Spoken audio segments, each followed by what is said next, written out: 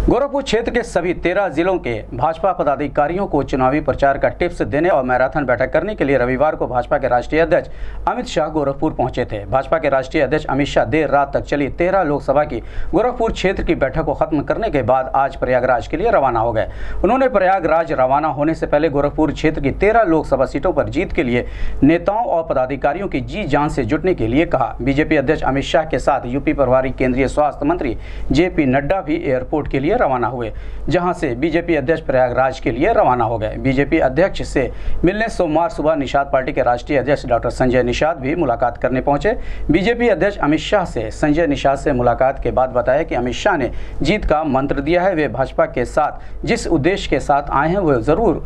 पूरा करेंगे। संत कबीर सीट पर प्रवीण निषाद भारी मतों से जीतेंगे। गोरखपुर न्यूज़ संवाददाता से बात करते हुए निषाद पार्टी के राष्ट्रीय अध्यक्ष डॉक्टर संजय निषाद ने कहा।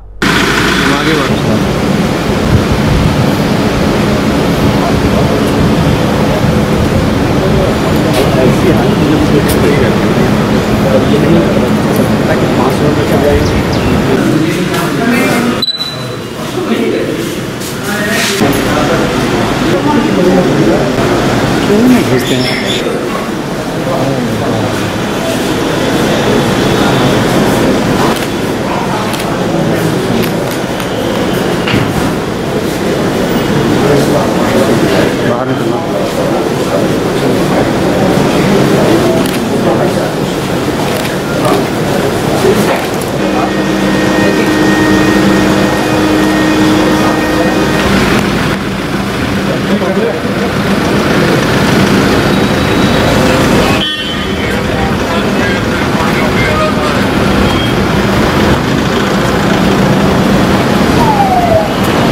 भारतीय जनता पार्टी के साथ जोड़ने के लिए जो जो विकल्प हैं जो जो व्यवस्थाएँ हैं, उन्होंने देने की बात कर दी और सारी बातें हो गई हैं कि कैसे जीता जा सकता है और जीत के मंत्र देना है और वो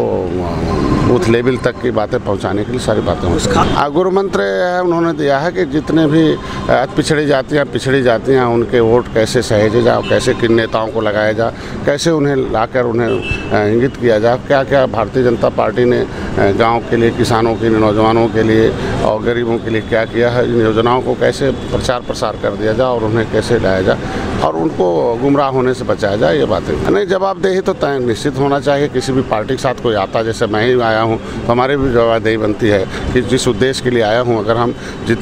भारतीय जनता पार्टी को पुनः स्थापित करेंगे, तभी तो जिस जिस जिस कमिटमेंट के साथ हम बीजेपी के साथ हैं, वो कमिटमेंट पूरा हो पाएगा।